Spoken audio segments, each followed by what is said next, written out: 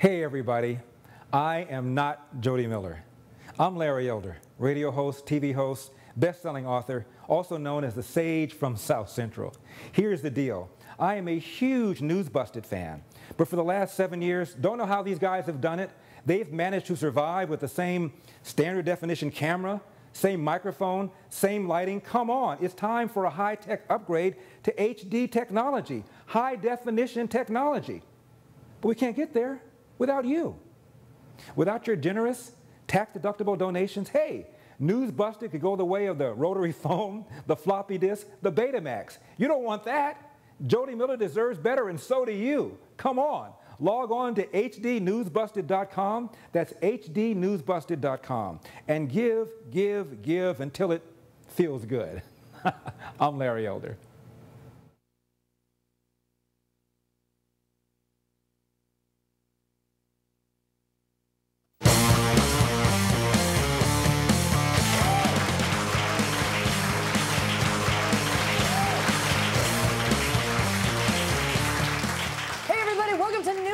I'm Jodi Miller. Let's get started.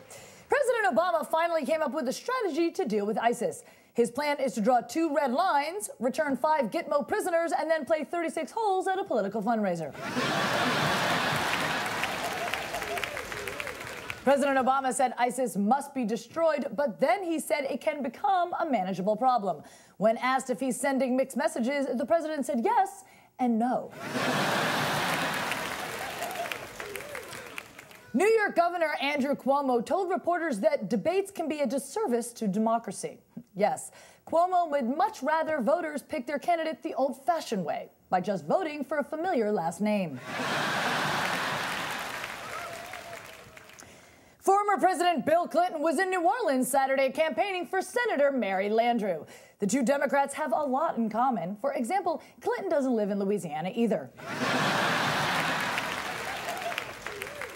Vice President Joe Biden said America will follow ISIS to the gates of hell. Well, that's convenient because thanks to Obama and Biden, America's already going to hell in a handbasket.